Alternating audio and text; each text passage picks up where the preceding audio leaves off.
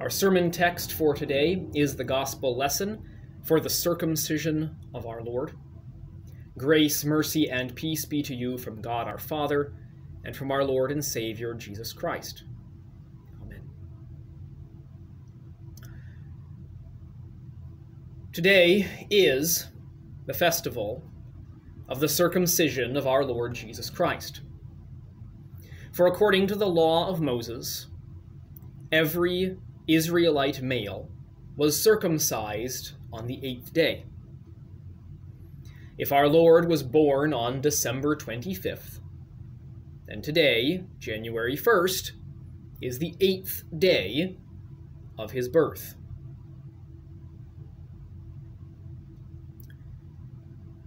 In Exodus chapter 4, we read about Moses in the land of Midian, how, after the Lord had appeared to him in the burning bush, he prepared his family to depart for Egypt. On the way, God sought to kill Moses because he had failed to circumcise his son who had been born in Midian. But Moses' wife, Zipporah, a faithful woman, quickly circumcised their son, and cast the foreskin at Moses' feet, declaring, You are a husband of blood to me. And in this way, she saved Moses' life. This episode in the life of Moses teaches us two things. First, it teaches the deadly weight of the law. Everyone born under the law is bound to keep the law perfectly, or else die. Even as God was ready to kill Moses for disobeying the law of circumcision. Second, it teaches that no one keeps the law. If even Moses, that great prophet of the Old Testament, whom God calls the most humble man on earth, and to whom God spoke face to face, if this Moses was not able to keep the law, what hope do we have? Therefore, we are all deserving of death. And it is only on account of God's infinite mercy that any man lives another moment.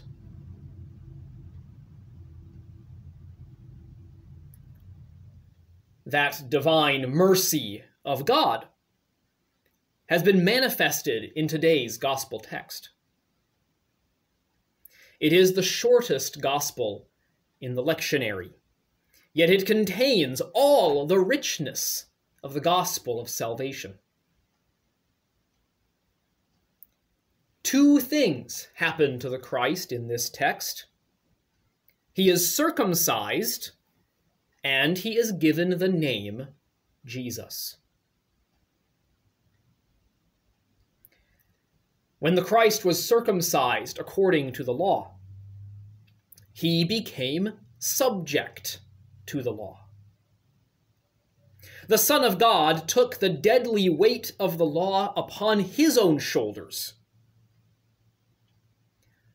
Now, we, who are born in sin and under the law, have no choice.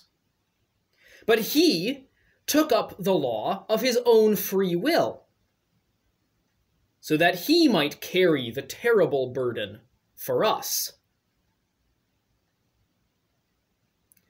And he received the name Jesus, which means salvation. By this name, we know that he took up the weight of the law, not on a whim, or merely to show off his power and perfection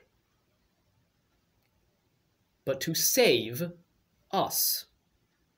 Who are too weak to carry the burden of the law.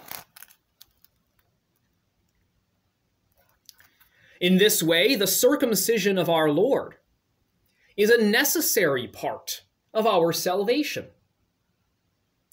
He took upon himself the deadly weight of the law. And in so doing, he received our punishment. He took upon himself our guilt, and he sheltered us from God's anger. Instead of punishment, he gives peace. Instead of guilt, forgiveness. Instead of fear, joy. For this is what St. Paul writes in Galatians chapter 4.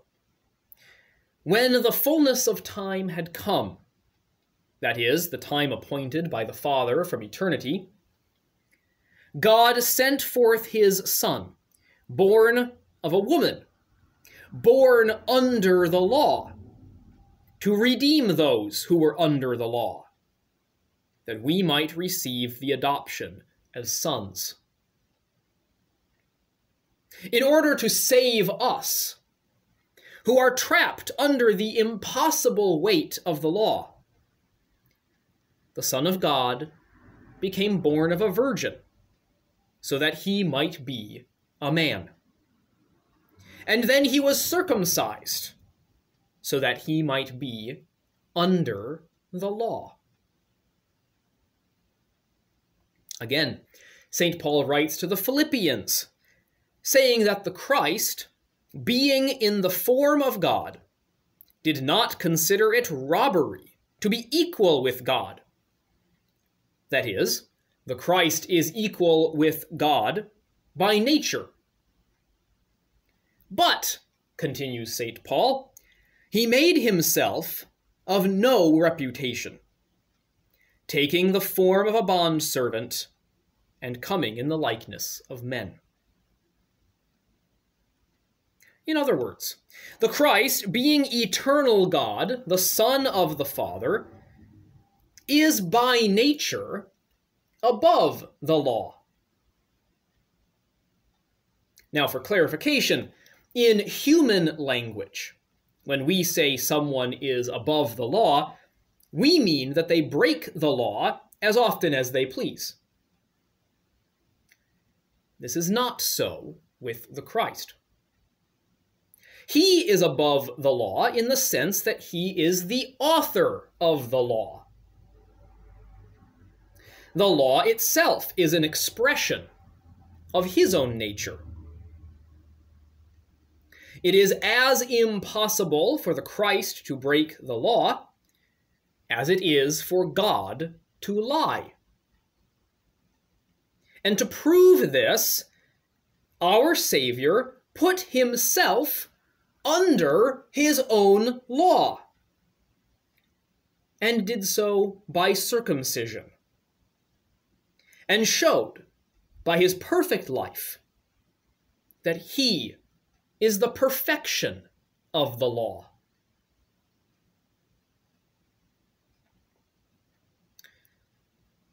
Now, we are baptized into the Christ, and he has become our perfection. As St. Paul explains in Romans chapter 6, where he says that we were buried with him through baptism into death that just as Christ was raised from the dead by the glory of the Father, even so we also should walk in newness of life. So, since the Christ is perfect, and we are in the Christ, God the Father treats us, on account of faith, as though the perfection were our own, notwithstanding our sinful condition. This offers not only the assurance of heavenly salvation, but also great comfort in daily living.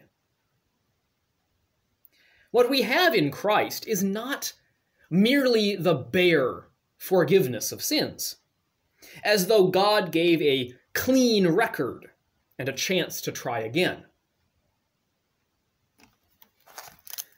Forgiveness is not about second chances.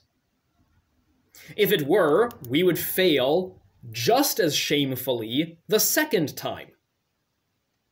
Only we would earn greater punishment for failing twice and wasting God's mercy. True forgiveness is more than this. What we have in Christ is the promise that the weight of the law is lifted. That we do not need second chances because the law is already fulfilled. Christ kept the law. Therefore, we do not try to earn God's favor by works of the law. God's favor is already ours.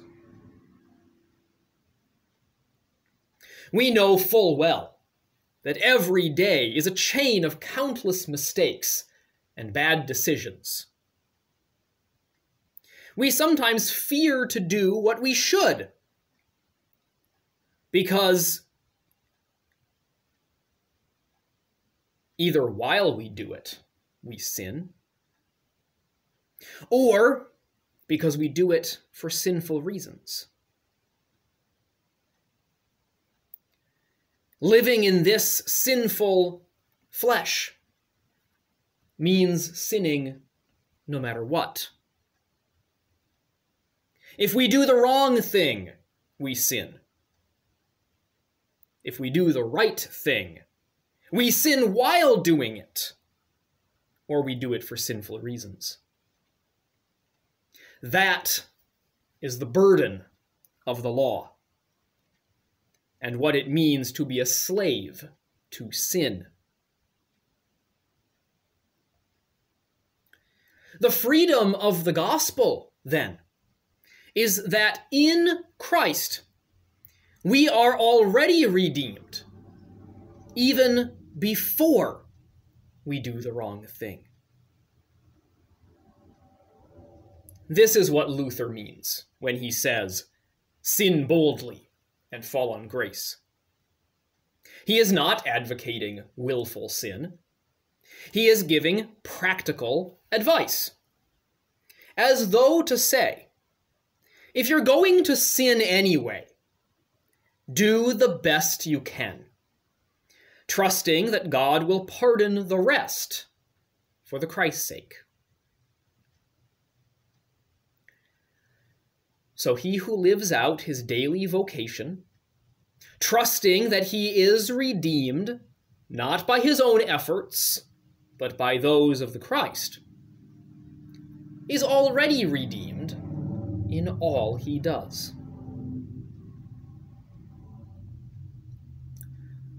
However, this doctrine is not an excuse to neglect the law. As St. Paul says, How shall we who died to sin live in it any longer? Since the Christ has taken away the weight of the law, we should keep the law gladly and out of thanksgiving, rather than out of fear. Christians ought to be the first at living moral lives, not to work salvation, but out of love for the Christ. Christians should teach the Ten Commandments to their children, expound upon them, and apply them to daily life. Because that is what Christians do. But if anyone neglects or willfully rebels against the commandments, it is to be feared that he has fallen from the faith.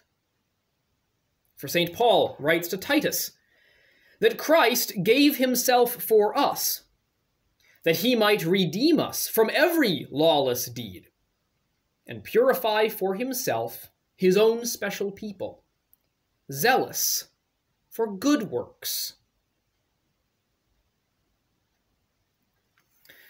Elsewhere, however, St. Paul says of those who are damned, they profess to know God, but in works they deny him.